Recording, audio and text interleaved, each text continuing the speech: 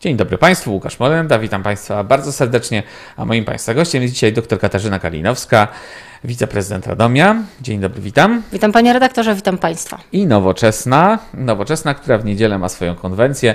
Podczas tej konwencji e, rozliczana będzie Katarzyna Lubnauer, przewodnicząca dotychczasowa, która mówi, że no nie wszystko się udało i zastanawia się, czy nie złoży rezygnacji. A jak Pani? Ma zamiar Pani dalej kandydować?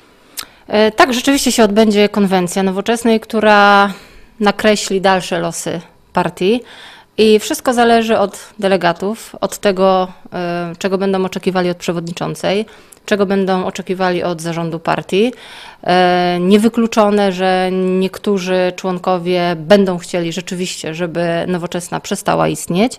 No i zobaczymy, która grupa, która siła e, zwycięży. Mhm. A czego Natomiast, Pani oczekuje od, e, od partii nowoczesnej? Ja, ja, ja, podzielę się, Panie redaktorze, z Panem i z Państwem swoją refleksją, która dotyczy y, takiej, takiego przesłania ideowego nowoczesnej, y, które było bardzo wyraźne w te 5 lat, 4 lata temu, kiedy, ponad 4 lata temu, kiedy nowoczesna zaczęła istnieć, kiedy była to partia stricte skierowana do przedsiębiorców, partia z taką liberalną myślą, ale w dziedzinie właśnie przedsiębiorczości, gospodarki, rynku.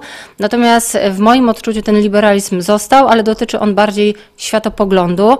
E, nie jest to do końca, do końca moją bajką, bo e, no tak naprawdę e, tę przestrzeń przejęła dzisiaj lewica. Także ja coraz mniej zaczynam utożsamiać się z tym głównym przesłaniem nowoczesnej, które słyszymy dzisiaj. Mhm. Czyli sztandar wyprowadzić, pani by radziła?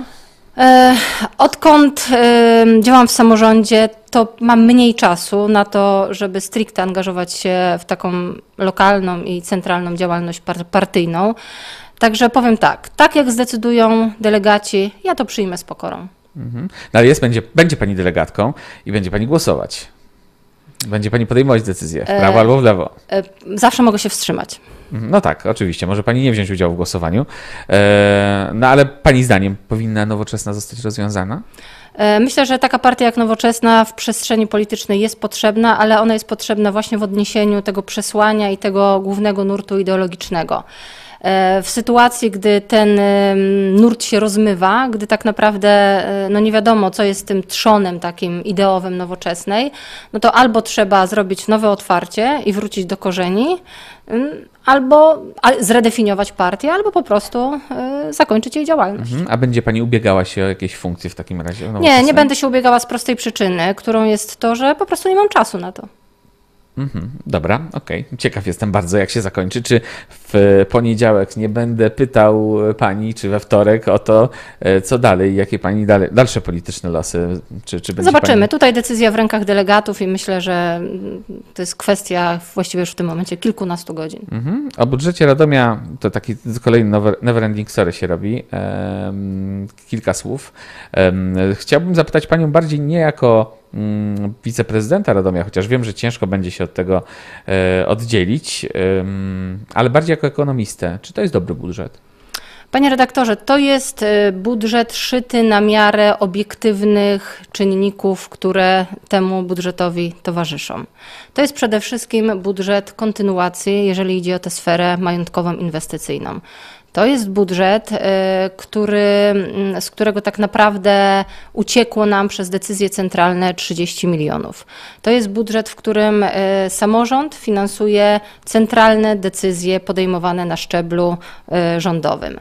To jest budżet, gdzie do systemu oświaty do, dokładamy 150 milionów.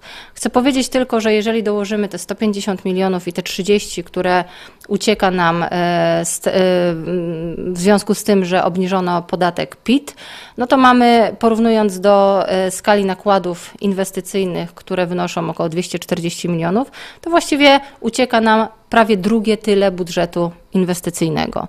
Także jest to budżet kontynuacji, jest to budżet, w którym edukacja i wydatki na oświatę zajmują dominującą rolę i to jest traktowane jako inwestycja. I prawie zawsze tak było, że do edukacji trzeba było dużo dokładać. Tak, ale nigdy nie było takiej sytuacji, że dokładaliśmy aż tyle i nigdy nie było takiej sytuacji, że przez decyzje centralne e, w tak drastyczny sposób spadały, spadały dochody do budżetu samorządu. Mhm. Trybunał Konstytucyjny orzekł w sprawie, którą Mazowsze wniosło, e, że e, no, państwo nie może zrzucać odpowiedzialności za e, nadwykonania chociażby, za niedoszacowanie kontraktów na samorządy.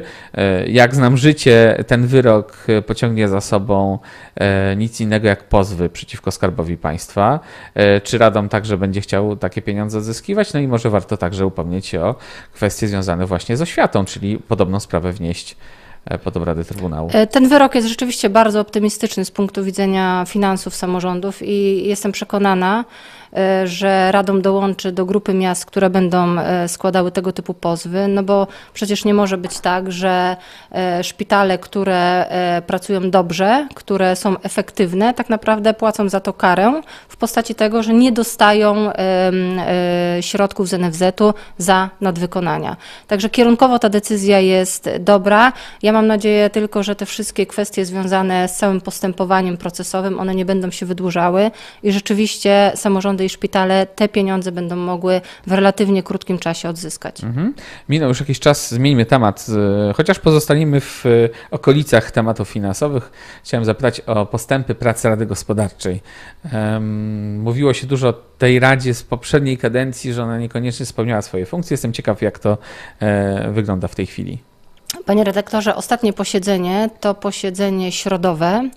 E, drugie posiedzenie e, Rady Gospodarczej przy prezydencie to było spotkanie bardzo merytoryczne. Ja chcę jeszcze raz podkreślić skład tej rady, który jest naprawdę bardzo zacny, jeżeli chodzi o osobowości z tutaj lokalnego świata biznesu, e, z przewodniczącym Cezarym Brymorą na czele. W spotkaniu przez cały czas uczestniczył prezydent, byłam ja obecna i poruszaliśmy naprawdę te kwestie, które są takie no, najbardziej palące z punktu widzenia najbliższych lat i rozwoju naszego miasta. Przede wszystkim dotyczy to e, kwestii budowy lotniska i tego, że dzisiaj już praktycznie jesteśmy pewni, że to lotnisko będzie lotniskiem operacyjnym, a my jako samorząd e, trzymamy za to kciuki i z całą pewnością jesteśmy tą stroną, która tę ideę i realizację tej idei bardzo mocno wspiera, ale również wszystkie te inwestycje mm, infrastrukturalne, które dzieją się w Radomie i w okolicach Radomia. E, I to tak naprawdę implikuje jedno. E, faktem jest to, że problemem w mieście jest niska podaż terenów inwestycyjnych i faktem jest również to, że popyt na te tereny inwestycyjne właśnie w związku z tymi inwestycjami jest bardzo duży. E, takim, mogę powiedzieć, wymiernym efektem prac tej Rady była mm, no, taka chęć zacieśnienia współpracy z Jedlińskiem, z wójtem mhm. gminy Jednia Letnisko, przepraszam, w zakresie e, ponad 50 hektarów terenów, które są właśnie w tej przestrzeni okołolotniskowej i tutaj będziemy w ramach tej współpracy, tego porozumienia, które jest podpisane, e, wspierać wójta w tym, żeby ten teren objął miejscowym planem, tak żeby nie było, żeby przede wszystkim ułatwił wszelkie kwestie inwestycyjne na tym terenie, no a to oczywiście jest po pierwsze e, z ogromną korzyścią dla budżety gminy Jedynia Letnisko, no bo to jest wzrost z tytułu podatków, różnych podatków mhm. dochodowych, nieruchomości, ale nie możemy pomijać tego wymiernego efektu dla naszej gminy, dla Radomia. No właśnie chciałem o ten wymierny efekt zapytać, bo nie widzę tego efektu. Czy to nie powinno być tak, że skoro za nasze pieniądze buduje się lotnisko, to albo wójt dokłada się do tych inwestycji albo oddaje swoje tereny. Panie redaktorze, e, te tereny nie są terenami gminnymi, to są tereny prywatne. Natomiast objęcie tych terenów planem miejscowych tak naprawdę. Oddaję, mówię w sensie e, czyli wychodzi z inicjatywą, żebyśmy jednak mogli poszerzyć miasto. Ja cały czas z tyłu głowy mam to, że spadliśmy poniżej 200 tysięcy mieszkańców. Tak, panie redaktorze, ale te tereny, o których mówimy, to nie są tereny gminy Jednia Letnisko, to są tereny prywatne. Natomiast objęcie tych terenów planem miejscowych, miejscowym spowoduje to, że przeznaczenie tych terenów będzie tak naprawdę jednoznaczne. To będzie przeznaczenie inwestycyjne. Natomiast jeżeli chodzi o efekty wymierne dla Radomia, one są e, namacalne. To są przede wszystkim e, nowe miejsca pracy, które powstaną. To są przede to są, to jest jest wzrost dochodów mieszkańców Radomia, to jest wzrost popytu wewnętrznego tutaj na naszym lokalnym rynku. Także e, no, z tą tezą, e, że tych efektów nie ma, ja jednak będę polemizować. To ja jeszcze trochę pole, polemizuję z panią prezydent, bo um, patrzę na coś takiego z, z, pewnym przerażeniem, bo Radom przestaje być centrum, e, nazwijmy to kulturalnym, centrum e, gospodarczym. E, rozwijamy ten podmiejski, rozwija się, chcąc nie chcąc, korzystając na Radomiu, ta, ta podmiejska strefa, Radom się kurczy. Nie zgodzę się z tym absolutnie. Radom e, w tym aspekcie ekonomicznym, kulturalnym, naukowym cały czas jest absolutnym, e, jednoznacznym centrum subregionu. Świadczy chociażby o Studenci tym... jeżdżą do Warszawy, e, rzadziej do Radomia. Panie redaktorze, studenci z Obwarzanka Radomskiego to studenci naszej uczelni. Jeżeli chodzi o działalność jednostek kultury, to tak naprawdę o tej działalności może nie wiedzieć ten, kto nie chce wiedzieć, bo praktycznie każdy weekend w Radomiu Mhm. Oczywiście dzieje się bardzo wiele. Ja mówię o czymś zupełnie, może źle zostałem zrozumiany. Chodziło mi raczej o to, że e, podmiejskie miejscowości, podmiejskie gminy rozwijają się, e, będąc de facto e, swoistymi dzielnicami Radomia. Radom wydaje pieniądze, a one się bogacą, te gminy. Dlaczego nie chcemy rozwijać granic administracyjnych miasta? E, To jest kwestia, która. e, e, No to, to, to oczywiście jest temat na, na dłuższą dyskusję. Natomiast kwestia poszerzenia granic miasta to są kwestie związane z bardzo określonymi przepisami prawnymi, referendum i tak dalej. Czyli jest to cała procedura, na którą tak naprawdę muszą się zgodzić mieszkańcy. Ale zgoda, jeżeli jest taka wola mm, ze strony przede wszystkim mieszkańców, ale również włodarzy, jest to temat otwarty, nad którym można dyskutować. Natomiast ja e, jednak będę polemizowała z tą tezą, że e, ościenne gminy wysysają miasto, nie dając nic w zamian, bo e, dzisiaj odnotujemy mm, no, takie zjawisko, myślę, które się utrwala już i które można mówić, że jest trendem, o tym, że mieszkańcy powiatu, przeprowadzają się coraz częściej do Radomia i tutaj tworzą tutaj e, mieszkają, tutaj zaczynają płacić podatki, tutaj chodzą do szkoły, tutaj dzieci wysyłają do szkoły, tutaj korzystają z naszej lokalnej gospodarki, e, z, e, z kultury radomskiej, z nauki i tak dalej, i tak. I to jest trend, któremu trudno zaprzeczyć. No, jednak dalej polemizował, bo spadliśmy poniżej 200 tysięcy mieszkańców. E, Nie jest to tylko kwestia e, kiepskiej demografii. Młodzi ludzie, ci, którzy właśnie mają dzieci, często budują domy. Budują domy gdzie? Pod Radomiem.